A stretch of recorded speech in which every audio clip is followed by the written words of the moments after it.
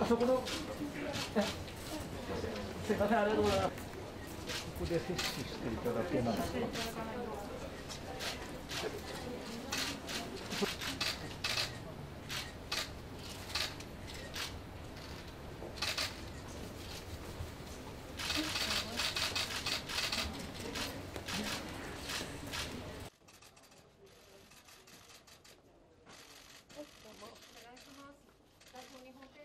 ちょうど明日からは青山学院と一橋と都立大学この3つの大学で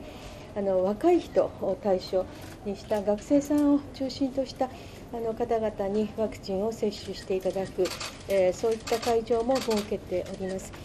今大変あの新規の陽性者の、えー数もですね大変多くなっております。で特徴はあの前のあの波と比べますと圧倒的にあの若い方々が陽性者になる確率と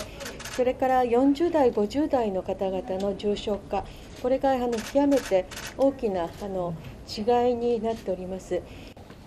水曜日から都内の感染者3000人を超えていて、昨日初めて4000人を超えました。海外というよりは国内をいかにしっかりと守って陽性者を増やさないようにするかということに尽きるのではないかというふうに思っております。えーよって引き続きあの都民の皆様方えー事業者の皆様方、そして、えー飲食店の皆様もあのいろいろと